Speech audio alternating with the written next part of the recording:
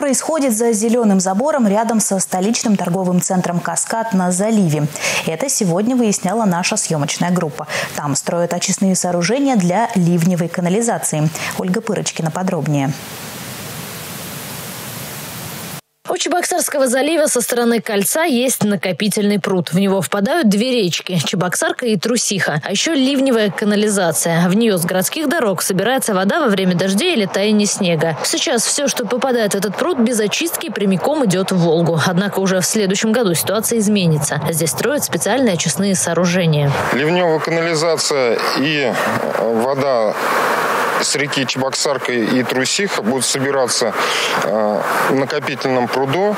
После этого насосные станции подаваться на емкостные очистные сооружения. После очистки подаются в чистый пруд, а с чистого пруда э, насосная станция откачивается в реку Волга. Строительство очистных идет в рамках регионального проекта «Оздоровление Волги». Он, в свою очередь, входит в национальный проект «Экология». Всего э, на, эти, на это мероприятие выделена сумма 240 миллионов 120 тысяч рублей. В 2019 году предусмотрено финансирование в размере 104,5 миллионов рублей.